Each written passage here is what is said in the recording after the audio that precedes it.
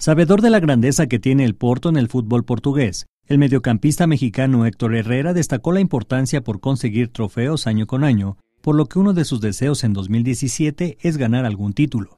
El jugador mexicano está consciente de que el plantel debe estar unido y remar hacia un mismo lado para conseguir los objetivos trazados para esta campaña 2016-2017. En el portal oficial del cuadro de los Dragones, Héctor Herrera se dijo agradecido por el gran respaldo que le han mostrado los aficionados al equipo. Eso se apreció en la víspera durante el entrenamiento abierto que fue el primero de este nuevo año.